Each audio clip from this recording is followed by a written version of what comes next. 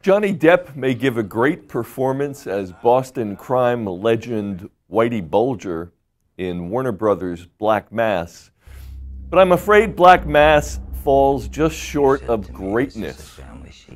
It is, however, another one in a long line of movies that try to transmute the real life bloody exploits of gangsters into cinematic gold. Mm-hmm. In fact, Warner Brothers, the studio behind Black Mass, has been in the business of gangster movies since the advent of sound recording.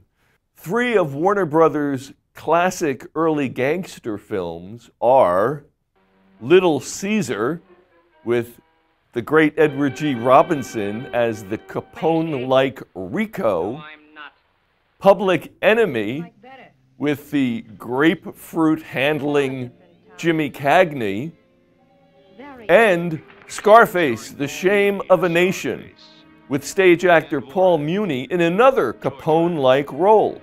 Of course, Robert De Niro memorably played Capone more recently in the 1987 Brian De Palma version of The Untouchables.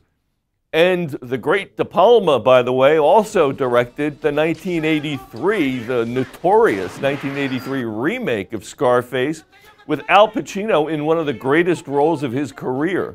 More recently, Jack Nicholson played the suspiciously Whitey Bulger like Frank Costello in Martin Scorsese's Academy Award winning 2006 crime drama The Departed.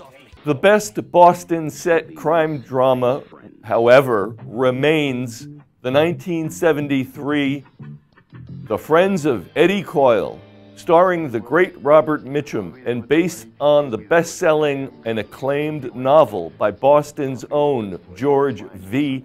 Higgins. The film tells the story of Eddie Coyle, a three time loser and gun runner from, for the mob.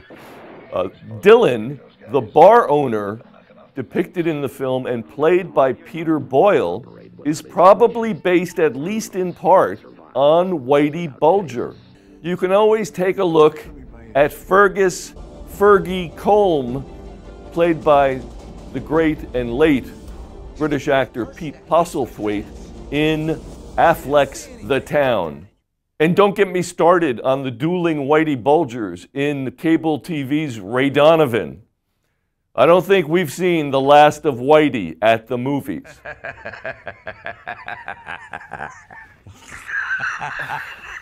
Look at his face.